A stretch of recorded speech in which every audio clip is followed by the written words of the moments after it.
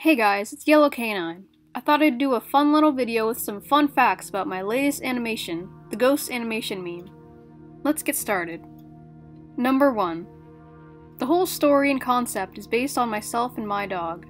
The main character, Rixie, is my fursona, a character I made which reflects myself and is used to represent me. My yellow lab dog, Copper, passed away this last December. I figured the ghost meme would be a perfect way to make a tribute to him.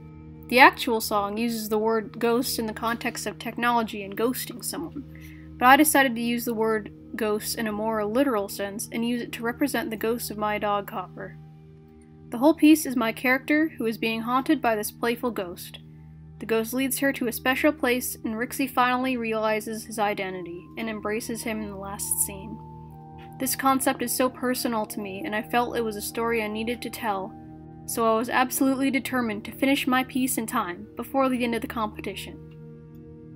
Number 2. I actually spliced the intro to the song and stuck it at the beginning of the segment I wanted to animate.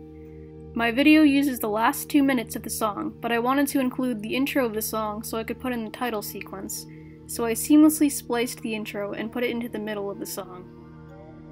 Number 3. I used a mood board to help get inspiration going for the backgrounds and atmosphere.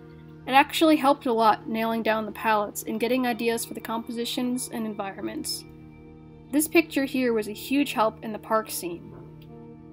And this one here helped a lot for the forest scenes. Number 4. There were several concepts I had for the ghost's coloring. I was going back and forth, debating early on whether the ghost should have a white outline or a gray one. I think the gray outline looked more ghost-like, but the white outline had more contrast. Eventually, I settled on the white outline with the glow effect. Number 5. The rotation scene took me the longest. It took me about 4 days to get that scene looking just right.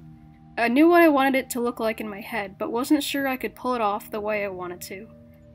I used some CG using Maya to help as a basic guide, and the whole time was a lot of trial and error. A little bit more about how I did that scene. I started with the trees, separating each onto their own layer. I learned how to animate them on a path and made them move in a circle pathway. They ended up not looking quite right coming to the foreground, so those trees are different ones animated on their own paths. They also have several layers of branches that are rotating slightly to try and make them look a bit more 3D. The background trees are just panning. Bushes are animated separately. Rocks are rotating on their own path as well, and inside the symbol, they're animated frame by frame with the different angles drawn out. Inside that same symbol, my character is also animated rotating around. And lastly, the ghost is animated on a separate layer. It was quite the challenge for sure. Number 6. The scene that took me the second longest to make was the lip sync scene. It took me, I believe, two or three days. I struggled with what the poses were going to be and how my character would be placed in the scene. I shot a reference video of myself to help act out the poses and expressions, and it was a huge help. Number 7. The scene where my character runs across the rocks, I just winged it. I kinda just went for it, drawing out the poses I figured someone would make, trying to balance themselves.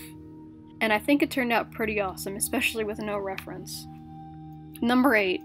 My animation has 73 layers altogether. Number 9. The outfit and scarf my fursona is wearing is actually an outfit I own. Number 10. The duck plush in the treehouse is a plush toy my dog had. It actually used to be my own stuffed animal till he claimed it as his own suckle toy. It was this one and a couple other toys that used to be me and my brother's that he would suckle on. We assumed this was because these items had our scent on them. Number 11. The pixel art scene was animated separately in Photoshop, then imported into Adobe Animate. Number 12. Everything was animated exclusively in Adobe Animate aside from the pixel scene I just mentioned. However, the glow effect for the ghosts was added in Adobe After Effects. Number 13. The whole piece took me about a month to make in total, working practically every day to ensure I could complete the piece in time. Number 14. As of right now, the video has over 136k views and growing every day, which puts it at my most popular video on YouTube. Additionally, this video was a push I needed to finally get my channel monetized, which is a long-term goal I've been aiming for for a long time now. Super exciting news. Thank you so much to everyone who gave it a watch. Number 15. Lastly, you may wonder if I placed in the contest. As has already been announced, my piece actually won first place in the contest. It's so exciting that all my hard work paid off. I feel like my piece was absolutely personal, unique. It was definitely one of my best animations to date. I felt really strongly about it, and I'm really happy that the judges of the contest felt the same way. The prize I won is an Artist 22 X Pen tablet, and I'm super excited to receive it. Also, be sure to check out the winner's video to see the top 10 runner-ups. Congrats to the second place winner and all the rest of the runner-ups. Everyone did such a great job. That's all I've got. Hope you enjoyed a little behind the scenes talk on this animation, and I'll see you very soon.